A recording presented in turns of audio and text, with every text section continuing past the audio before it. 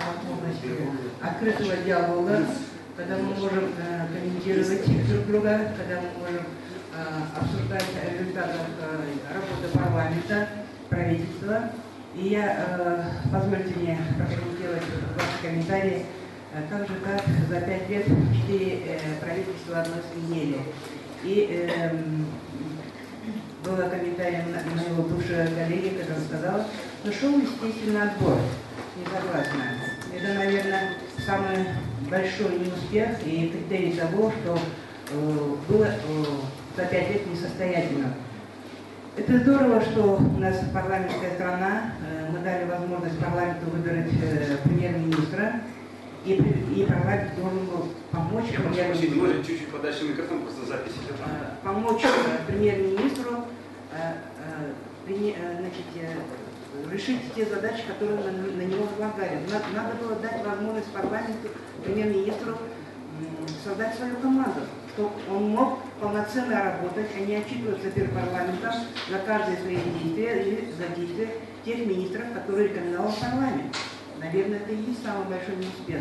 Есть проблема в том, что э, в правительстве или в президенте или какая проблема, если кто принимает решение, он должен за это отвечать. То есть нет ответственности за принимающих решений.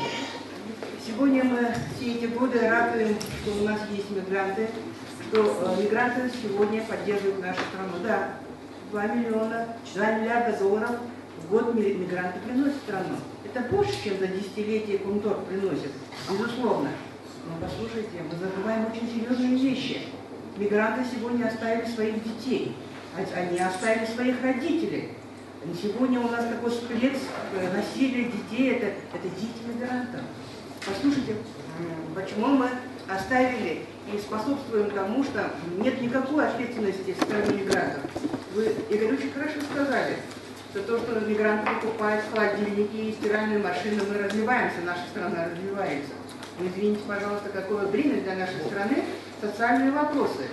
Это э, 8 миллиардов долларов в среднем на социальный сектор расходует страна, чтобы поддерживать этих детей и этих родителей за их 2 миллиарда долларов.